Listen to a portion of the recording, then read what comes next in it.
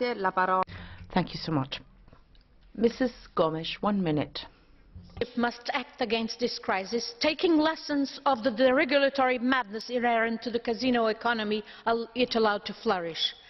EU and US must then implement commitments made at the G20, including the control of tax havens, which continue to deviate staggering resources from investment in economic growth and job creation.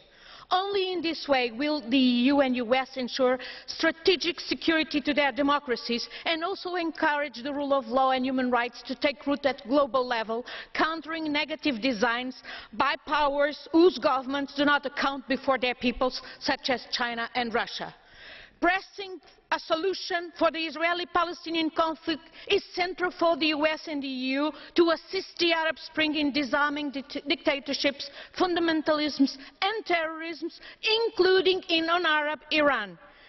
Israel will not survive without creating an interest for its own security in its region, and in particular in its neighbouring state of Palestine.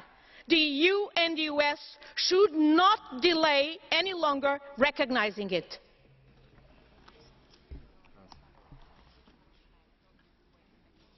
Grazie, la parola all'onorevole.